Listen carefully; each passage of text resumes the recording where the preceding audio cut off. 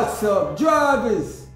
Smile up, man. Look, I want to talk about these stops, man.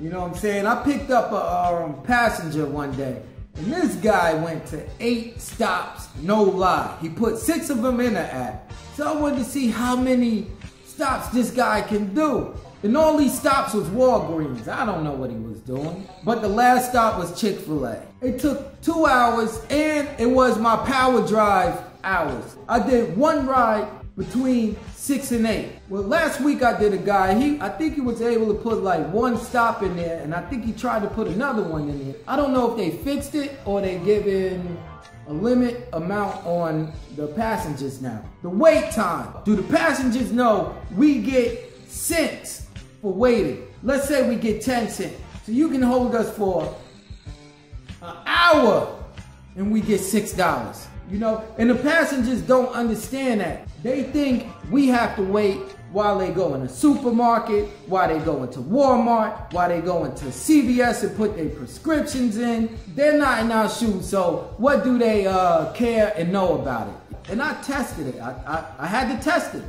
and I wait, and most passengers at least did 15 minutes or more. Only one passenger went into Walmart and she came out under 10 minutes. How she did it, I got no idea. I can't even do that. I tried to explain to a few passengers like, look, I don't have time to wait. Most of them had a problem with it. Me telling them nicely, I'm not waiting. And now, that's when the pull-off game have to come into effect.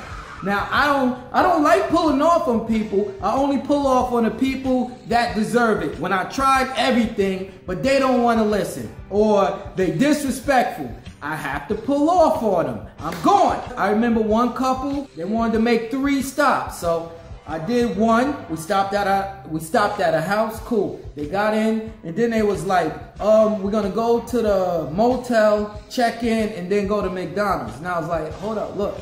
Let's do it like this. Let's go to McDonald's and then you check in at the motel. And they was like, no, no, no. We have to check in first. We have to check in first. I was like, look, I don't know if I want to wait that long. It might be people there. You know, it's going to take a little while for you to check in. No, it'll be quick. Just wait for us. We have to go to McDonald's afterwards. We hungry. They're not listening. We get to the motel. It's it's three people ahead of them. And then somebody came in there complaining about their room. So I had to leave. When I take off on these people, they able to leave me a bad rating. I don't care no more. They getting petty, I'ma get petty. Another girl wanna go to the uh, chicken place. So I stopped there and you know, I'm like, oh, you ain't put your order in yet? She's like, no, I'm gonna put it in now. Just give me a minute. I looked in the store. The line was crazy. She wanted me to wait that whole time. Tried to leave a jacket. I hate to do it, but this is where I have to come up with my techniques. This is why I told her, I was like, look, hold on, take your jacket. I'm gonna go to the gas station next door and get me something to drink.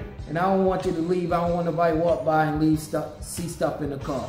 So she was like, oh, okay, okay. She took her jacket. Once she took her jacket, she walked in the store. I left her. And she gave me a bad rating talking about I didn't wait. For 2018, I'm going. A few reasons why I will pull off on you. Carrying a kid with no car seat, I'm going. If I see your friend throwing up and you tell me to wait, go Looking like you robbed somebody or about to rob me, go If you run into the car, out of breath, got into a fight, or you running from the cops, go if you're wearing a clown suit, out of here.